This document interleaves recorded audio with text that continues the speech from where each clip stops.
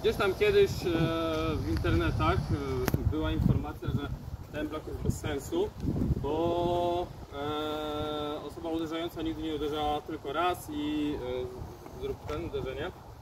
I w przypadku, kiedy tu idzie drugie uderzenie, no to ja już obrywam i generalnie jestem w stanie się obronić, no i jest knock, tak? No to spróbujmy. Zrób dwa uderzenia. Ręka schodzi w dół. To, co przed chwilą robiliśmy, tylko ja nie zdążyłem zrobić kontry, no bo przeciwnik po prostu wchodzi, robi szybkie uderzenia, ja się delikatnie odsuwam.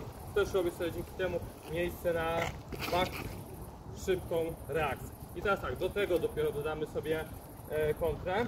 Raz, dwa, trzy.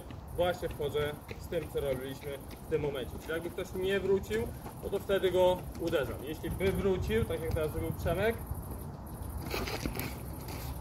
pach, wchodzę z kolana.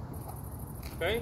Tu dzięki temu, że tą rękę udało mi się, już daj ten drugi, przechwycić. Tutaj zostałem zablokowany, ale z tego od razu robię chwyt wchodząc i mam związane ręce przeciwnika, ładuję albo tu, albo na kroczu.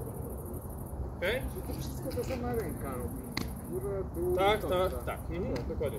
A druga wtedy po prostu gardę trzyma? Tak. Raz, dwa, trzy, tu schodzisz, próbujesz Żeby złapać, chyba że żeby. Mhm. Chyba, żeby była sytuacja, w której yy, ten, tak? Raz, dwa i teraz zabierasz tą rękę. Yy, nie, zabi- tą zabierasz. Tu, no to nie mam co chwytać, więc jakby zostawiam sobie tutaj wtedy w gardzie, tak? No bo zabram, nie ma tej ręki. Tak, tak. No ale tu jakby robię to samo. Chwytam, nie udało się, łapię za kark. Mhm, Okej?